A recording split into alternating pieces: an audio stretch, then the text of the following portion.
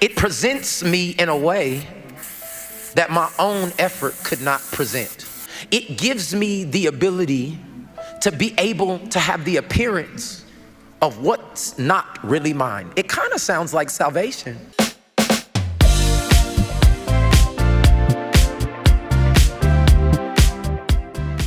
Hey guys, welcome to Berean Babes Bint. And now I'm your host, Vale Chikuni. We begin. Mike Todd. Mike Todd is a pastor at Transformation Church out in Oklahoma. For whatever the reason, Mike Todd was possessed. I don't know where these demons are coming from, okay? And he decided to have his barber in church while he was preaching to trim his beard. Okay? This is, you think this is an AI? Somebody just made this up for Mike Todd? No. Everything is exactly what took place at Transformation Church in front of his congregation. So, I'll play the video for you guys. That way you can see exactly what I'm talking about. But make sure that you're sitting down, okay? you have to be sitting down because this is something else. Here we go. What is he doing right now? This is what in the barber world they call enhancements. See, when you get a master barber and they can see what you don't see, they can fill in the holes and the gaps. The areas, y'all be like, dang, Pastor Mike Beard be so nice. That ain't me. That's the grace of God. Hear what I'm saying to you. It presents me in a way that my own effort could not present. It gives me the ability to be able to have the appearance of what's not really mine. It kind of sounds like salvation.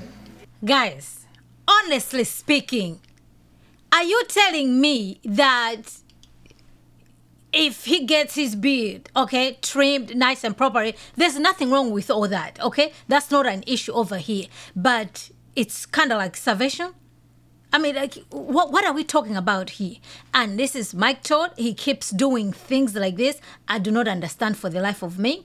He has no regard for the church of God. He's there's so many reasons why this guy is disqualified, but like this is just like, where's the reverence for the church? Where is holiness? Uh, how are you conducting yourself in church like this?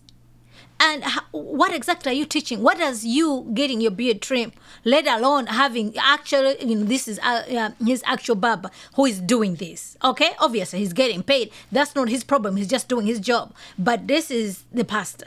Where is accountability for Mike Todd at his church? Are there other? Um, I mean, you know, there's so many women pastors over there, so I don't expect that they can say anything or do anything. But where is accountability? Why would you do this? Why don't you do this at home? Why are you doing this in in the church? Huh? Honestly speaking, can you can you can you fathom this? Okay. In Christ, he is a new creation. So when the debt comes up for all the sin that I made, I get the enhancement of Jesus Christ being the one that stands in front of me and fills in every gap, every hole, every area that my hair could not grow, every area that my life could not produce. He does not look at me, but he looks at Jesus. And so for every patchy place of my life, I get the enhancement of the Holy Spirit. I'll preach this thing right now. All of us at some time need favor we don't deserve. Need somebody to cover us when we don't actually have the ability to do it ourselves. Okay. Did you hear what he said? He said he'll preach this message right now. Is that preaching? How can you even call that preaching? He's not preaching at all. You cannot even call this preaching, but obviously he's calling preaching. And then people in the church over there, they're, they're screaming, thinking that this guy has just said anything. Remember, we just don't go to church just because it's Sunday, we're just going to church, right? There is a reason why we go to church.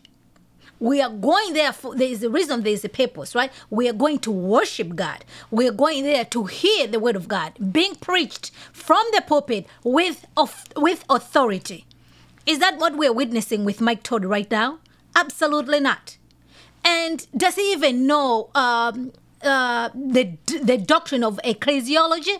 I don't think he does. I don't think he thinks he can do whatever else he wants to do in the church. Okay, this is what he's doing. Because if anybody who understands uh, what a church is, I just don't see how he'll be behaving the way he's doing. Okay, we there's um, what is the church supposed to be doing? A church is supposed to be glorifying God. Is that does that look like somebody who's glorifying God right now in church? Absolutely not. Okay does uh, you go to church right? The, the purpose of the church is supposed to be proclaiming the word of god the gospel and everything else. But he's telling us him getting uh, his beard done and everything this is it's, it's kind of like salvation. For real? Huh? Where is he getting that from? Where are you getting that from? I do not understand okay? And like you know so many things that the church is supposed to be doing okay?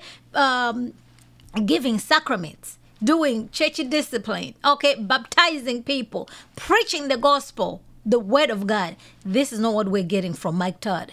And people keep going to this church. So, yes, I do say that Mike Todd is definitely disqualified. He's beyond disqualified. Okay? So this is First Timothy, uh, First Timothy 3. And this is after Paul had listed all the qualifications that are required for an elder, for a deacon. Okay? And I read this. Verse 14.